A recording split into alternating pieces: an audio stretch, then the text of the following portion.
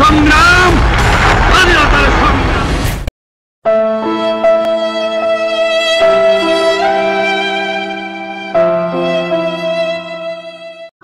জাতীয় শোক দিবস উপলক্ষে রিয়াদ বাংলাদেশ আন্তর্জাতিক স্কুল অ্যান্ড কলেজ ক্যাম্পাসে আলোচনা সভা অনুষ্ঠিত হয়।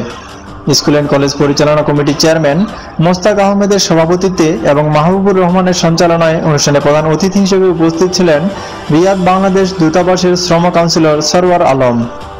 বিশেষ অতিথি হিসেবে বক্তব্য রাখেন পরিচালনা কমিটির ভাইস চেয়ারম্যান নুরুল আমিন সেলিম ভুইয়া, মোহাম্মদ আলী নূর, শিক্ষক খাদেমুল ইসলাম, শেখ শহীদুল ইসলাম প্রমুখ। এ সময় বঙ্গবন্ধুকে নিয়ে কবিতা আবৃত্তি করেন নবম শ্রেণির শিক্ষার্থী সারা আজাদ প্রমুখ। এ সময় আরও উপস্থিত ছিলেন প্রিন্ট ও ইলেকট্রনিক্স মিডিয়ার সাংবাদিকবৃন্দ।